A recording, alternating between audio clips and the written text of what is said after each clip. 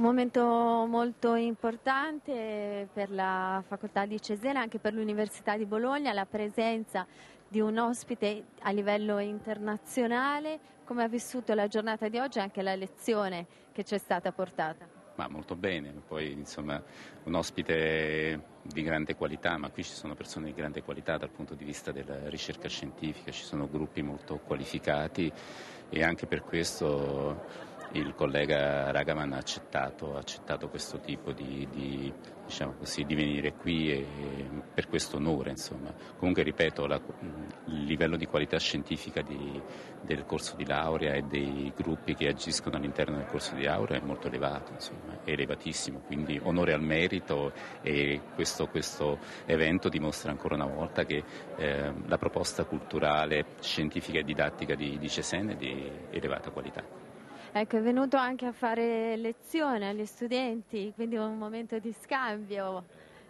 Ragavan a, a Bertinoro prima, poi ha ricevuto la laurea, quindi un momento molto importante anche per gli studenti che frequentano questa università. Sì, ma io credo che questi eventi danno anche la dimensione internazionale di quello che è questa proposta, questa proposta culturale, didattica e di ricerca. Cioè, eh, far vedere che in effetti si agisce in un territorio che è Cesena, ma la valenza è, è, internazionale. E eventi come questo oppure eh, le lezioni tenute dal professor Ragavan a Bertinoro danno proprio questo, questo senso, anche ai ragazzi il senso che eh, noi guardiamo eh, il corso di laurea e i gruppi che agiscono qui a livello di ricerca guardano all'Europa e al mondo intero per quanto riguarda le collaborazioni scientifiche e la possibilità anche di muoversi in contesti, in contesti eh, di ricerca di elevatissimo, di elevatissimo livello. Insomma.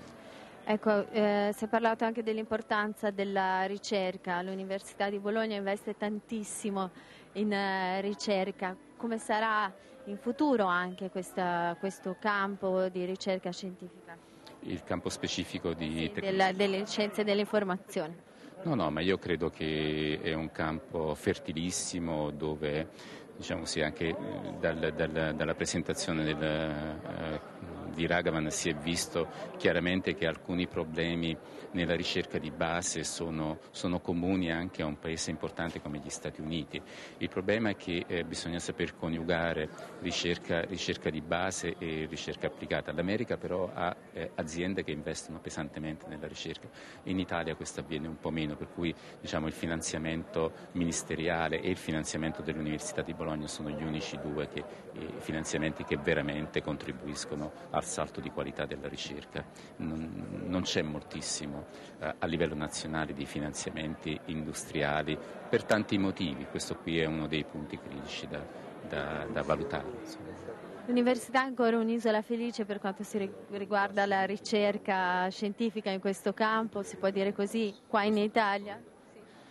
No, ci sono anche aziende di, di, qualità che svolgono attività di ricerca in questo, in questo, campo. Sicuramente l'università fa la sua parte, l'Università di Bologna ha un'ottima diciamo così, dotazione nel settore di scienze e tecnologie dell'informazione. Ricordo Cesena, ma ricordo anche le attività svolte dalla Facoltà di Scienze a Bologna, le facoltà di ingegneria, eccetera. C'è un gruppo, un gruppo molto, molto, forte, consistente, ben qualificato a livello, a livello mondiale. Poi se un'isola felice, questo è difficile dirlo.